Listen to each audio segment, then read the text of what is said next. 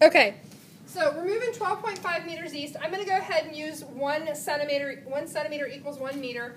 Um, so I'm going to do 12 and a half centimeters. Boy, this is tiny. Let me uh, change my scale. When you're doing this on paper, you're going to change your scale repeatedly because I'll give you a problem where I screwed up and you have to like turn your paper sideways and do it corner to corner to get the scale to work. It's okay. You'll, you'll manage. So let's call 2 centimeters a meter, which would mean 25 centimeters. All right. So 10, 25. Okay, a little bit better. So I'm going to label this as displacement 1, 12.5 meters east. Now I have to turn at 30 degrees north of protractor. Where'd it go? There it is. North of east. So I'm going to take my protractor and I'm going to put the little bubble, the little dot, right on the tip of the first vector. I'm going to make a mark out here at 30. Okay, so I made a mark at 30 degrees towards the north from due east. We'll practice this. Now I'm going 5.0 meters so that's going to be 10 centimeters on my scale. Okay.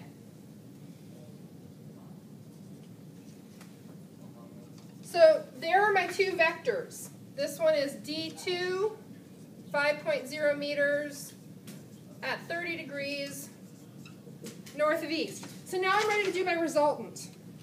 And the resultant is literally a line that is connecting the what? Tail of the first vector to the head of the second. Now, the thicker the marker or pen you're doing this with, the fuzzier your numbers are going to be. But you want to get this as exact as possible.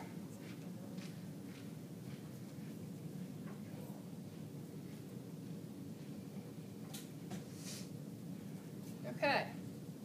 That's my resultant. Now, I'm going to measure the distance of that resultant line, and that's actually the number of meters of travel. So I have 43 and a half centimeters. We're doing 2 centimeters equals a meter, so 21.75. 40, no, 43 divided by 2, 21.75. Huh? 17. Okay so I screwed up again. 43, so the 40 divided by 2 is 20. Right. The 3 divided Your by is 2 is... Oh, you're saying your line is different lengths. Yeah. Yes, okay, that's fine. Um, now, we also have to get the heading. Because that distance alone is not sufficient to tell us where we are.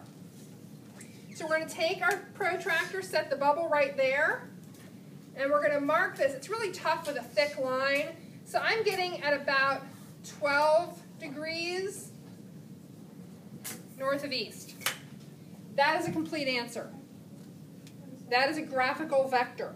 When you learn how to do these algebraically, you can use this method to check yourself. Okay? In the meantime, it's an approximation. Now, you know, somebody said, well, I got 17 meters. What's the range of answers we have? And I'm going to stop the video now and we'll go back to Doceri.